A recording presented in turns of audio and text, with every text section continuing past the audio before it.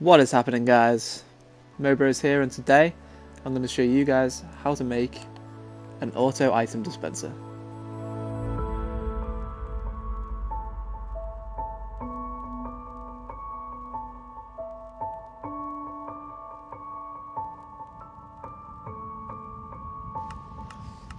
Okay, now those of you that watch my videos regularly will have seen my latest tutorial um, about the item elevator that you can see in the background here, but what I didn't show you in that tutorial is how the items are actually put into that screen.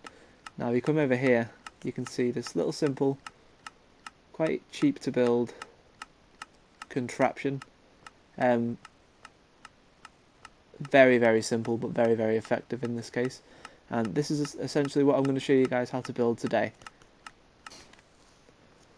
Okay, now one thing to note before we start this, um, this right here is a dropper, okay? The reason this is a dropper is because I quite commonly use this as a sort of collection system for um, drops made by mob farms. So say I've got like a skeleton spawner and I'm collecting all of the bones and the arrows. If that is a dispenser, it will fire the arrows. It, they will not be dropped as items that you can pick up. They will be fired straight down. Um, this can be used to your advantage. Say you wanted to get rid of the arrows, siphon, you know, like separate them from the bones. By all means, place a dispenser here. But just note that any item that can be fired will be fired from a dispenser using this circuit. Um, so yeah, dropper only if you want this to work as a collection system for all items. Um, by all means, use it as a dispenser if you want it to fire items. Okay, so step one of this build, guys, is you're going to want to find your water source block, or block that you would like your items to be dropped down into.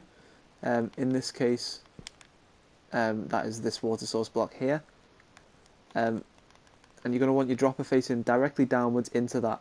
Now, some people build their dropper in sort of like that position, dropping items down.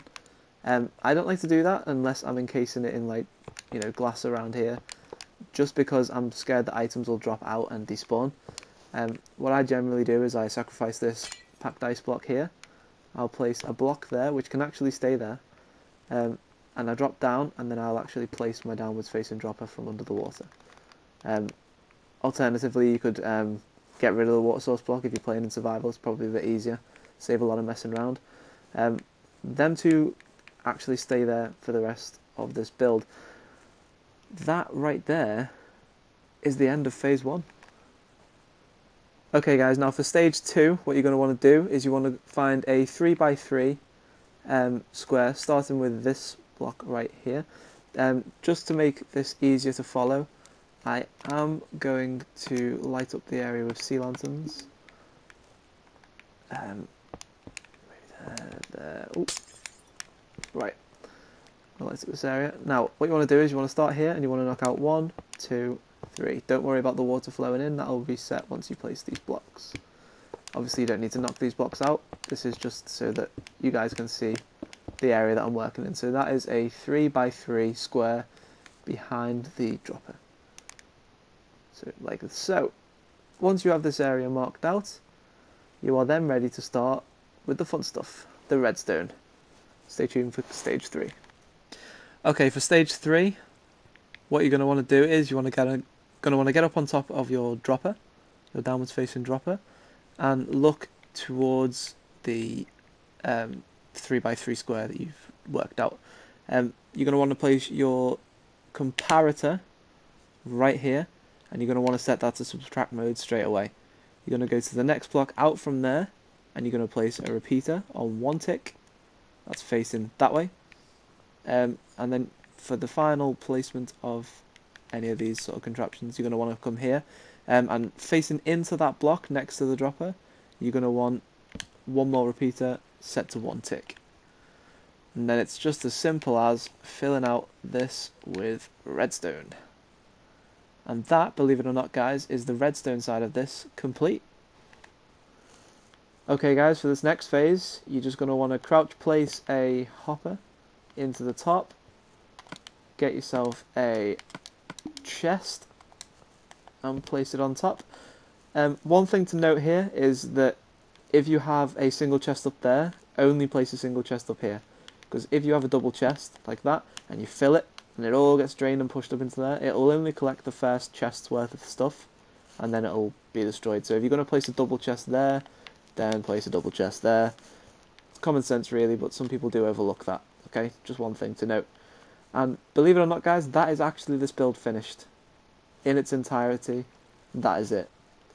So as you can see now, let's just get some cool items. What can we get? Let's get some diamonds and some emeralds and place them in here. Now, they get dropped down into this. The comparator then reads that there is an item inside here. Sends off a redstone signal, which is then used to power this dropper. As you can see, the items are flowing into the water stream, up through the item elevator, and then being collected inside this chest. Happy days. Now, I personally use this for um, mining and mob farms, just to transport my items up into a storage system near the surface. So when you get down into your mine, build this with whatever redstone you find and iron, and get your glass all the way up to the top, and then you're ready to go. You don't ever have to come out of your mind to like get rid of your items in your inventory. Sorry about that noise. I'm going to move away from it. Um, yeah, it's it's pretty awesome. Once once you've got something like that set up, it it speeds things up dramatically at your base. Um, I have been using this now for quite a while. I'm not actually sure which YouTuber I saw this on. I'm pretty certain it was Skippy6 Gaming, so be sure to check his channel out. Shout out to him. His tutorials for PlayStation are fantastic. Um, he he makes some big, huge builds, big farms, um, just just enormous, enormous, out of this world. Um, he's got quite a, a, big following of people that help him out with his tutorials, so please, please, please check him out. Absolutely awesome. Um, I think that's it for this build, guys. In fact, bear with me. I'm just going to build um, another contraption that uses this exact same redstone circuit, but it can actually be used as a sort of, I don't know, base defense or trap. I don't really know, but I'll, bear with me. Give me one sec. BRB. Okay, so here, guys, what I've essentially built is exactly the same design, redstone-wise. Um, you've still got your block and your hopper, only instead of a downward-facing dropper, we have a front-facing dispenser. Um, this is just to sort of emphasise to you the difference between the droppers and the dispensers in this case. Um, so what I'm going to go ahead and do is I'm going to throw some sheep down here. These are my victims. And what I'm going to go ahead and do is I'm going to place a ton of items in here that can't be thrown. Uh, fired, sorry, and a ton of items in here that can. Okay, so we've got bones and arrows. Say this this is like textbook um, skeleton farm drops. So if you've got yourself a skeleton spawner, this is the sort of stuff you get dropped. And just to show you the difference between what happens when um, arrows go through and bones go through. Here it goes. So these are the bones coming out now. As you can see, they're just being fired down the water stream and collected at the bottom. Um, shortly we'll have what happens when arrows get sent down. There we go. um, they get fired. So these items will not flow through the water and be picked up by, say, a hopper at the bottom. Um, these will just be dropped. Well, fired and then despawn. So if you want to separate your arrows from your bones, say you're not interested in arrows, you just want to collect the other drops, use a dispenser. This can also be used as some sort of base protection system. However, be warned that there's, there's no like sort of, well, you can make a sort of on-off switch for this, but that's for a different tutorial. Um, whatever items you place in there will come out of there almost immediately. Um, so don't think this is going to be some sort of thing that will only fire when there are enemies nearby. Um, it it would be good to have on the walls of maybe a castle if you're going to use something like this, but for for the purpose of this tutorial, I just wanted to show you how to get all of your items up an elevator and into your storage. Um, and this is essentially it. So downward facing dropper, not dispenser. Um, that'll make sure all your items are dropped, not fired. um, that is pretty much all I wanted to do for this tutorial, guys. So I'm going to go ahead and get myself up here and let you guys pause this maybe if you're getting a bit confused. Um, so just pause it on this screen and just basically build what you see. That'll be it. Just make sure that's downward facing, always downward facing, and a dropper. Can't emphasize that enough. That comparator needs to be in subtract mode, so the light on. Both these um, repeaters need to be on one tick, and the rest is just redstone. And that is you sorted.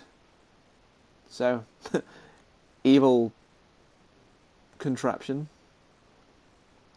Peaceful dispenser. Well, dropper. Dropper. Dropper, not dispenser. Oh god, don't don't say dispenser. Confuse people.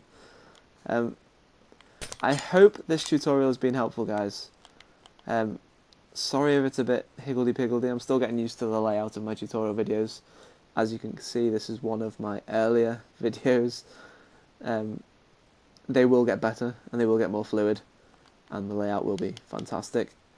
But until next time, guys, I will see you in a bit. Bye!